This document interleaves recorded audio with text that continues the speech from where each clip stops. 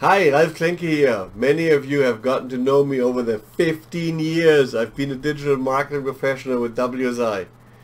COVID has brought a lot of change into our lives and one big one is the move to more online services. Many business people have questions.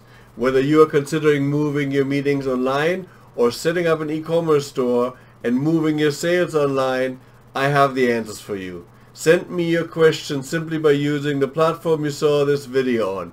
I'm like the Dear Abby of online marketing, so I'm looking forward to helping you out with your questions.